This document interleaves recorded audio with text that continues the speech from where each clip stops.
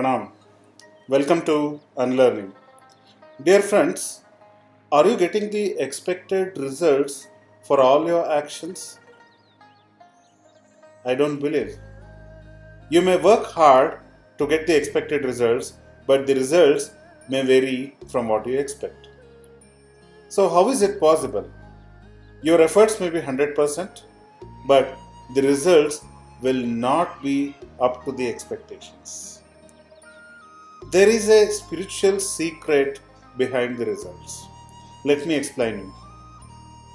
Take an example two students who are studying in 10th in the same school, in the same classroom, with the same tutors, maybe from the same family, and having the same learning environment may get a different results. One may get a rank as a result, one may fail in the exam. How is this possible? Let us interpret. Friends, the results is not in your hands, only the efforts. Bhagavan Sri Krishna mentions, do the first half, leave the next half to me. That means, do the action, give the results to me. Naturally, the results is not in our control. Every results is based upon the actions what we have done either maybe uh, in the previous life or in the current life or some bad actions. Whatever actions it will get accumulated. Usually we call this actions as karma in sanskrit. Upanishads vedas has defined this word as karma karma means precisely the action so the results will vary based upon what karmas you have done.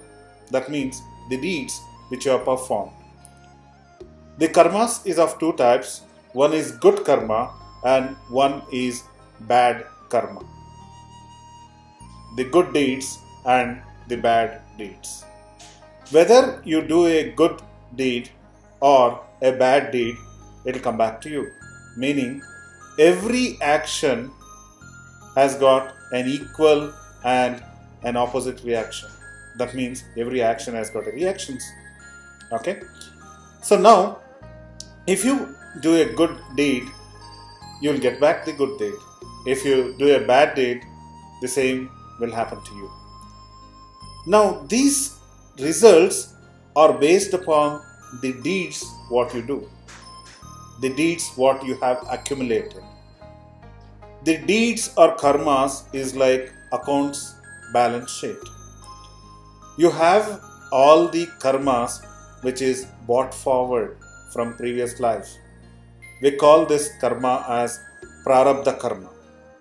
So prarabdha karma means it is a brought forward karmas which is carried forward from previous life to the current life.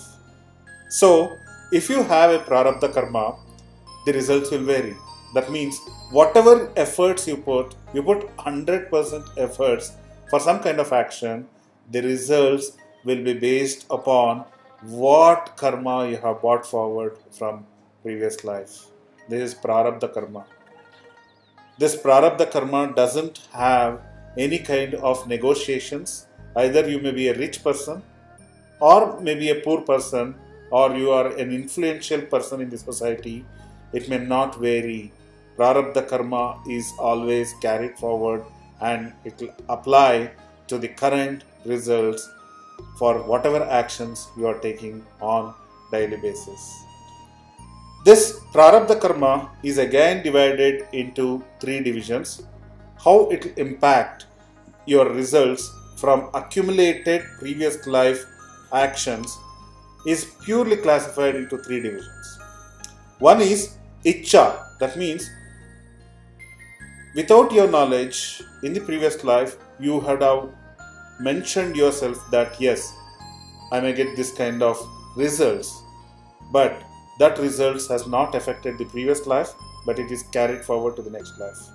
That is with your knowledge. Icha, prarabdha karma.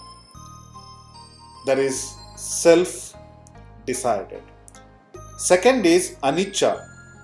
Anicca means you have not decided that this should be the results or you would have not expected but suddenly you're going on the street you will collapse or an accident may occur you're crossing you're just walking but something may hit you so you have not decided it but there is an accumulated karma from the previous life that is called as anicca. You're not decided at all but it happens.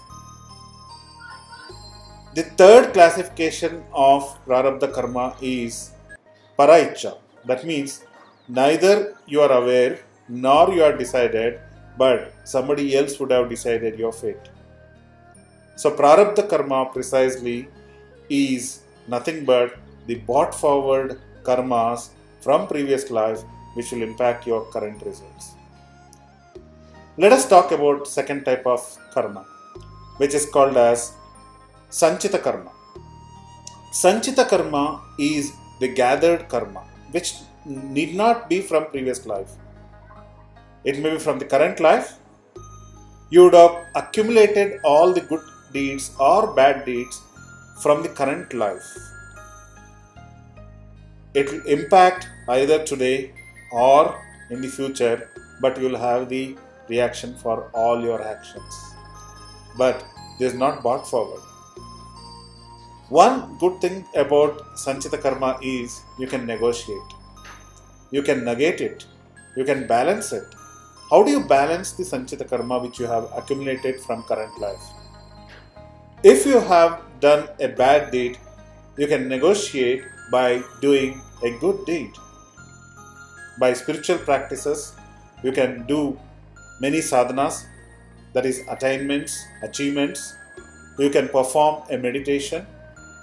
You can do a bhajan. You can do japa.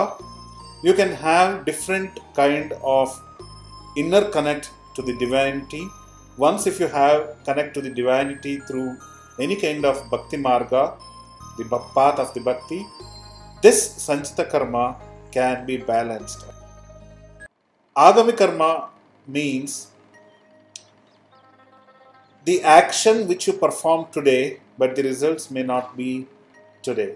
But the results or the reactions may be postponed for future time. It may be for next life or maybe future in this life. So, there are three types of karma. Again, I'll review. One is prarabdha karma, which is brought forward. You have to face it. One is sanchita karma, which is the actions done in this life. And one is future, which is accumulated from the current acts. So there are three types of karmas prarabdha karma, sanchita karma, and agami karma. Now, knowing this, friends, you can perform good deeds, spiritual path to balance the karma. So, if your efforts are 100% but results are not as per expectation, start burning those bad karmas, the bad effect of the previous actions. So start doing good, feel good, leave the better place and make the world a better place to live and monitor every action that you will not carry any kind of karmas which will impact your own results. Karma is just like a mirror. You do something, you will get the same. So, do good, start good, not tomorrow, now. Be Karma Yogi. Do the right thing. Give good to the world. Do good karmas always. Thank you for watching.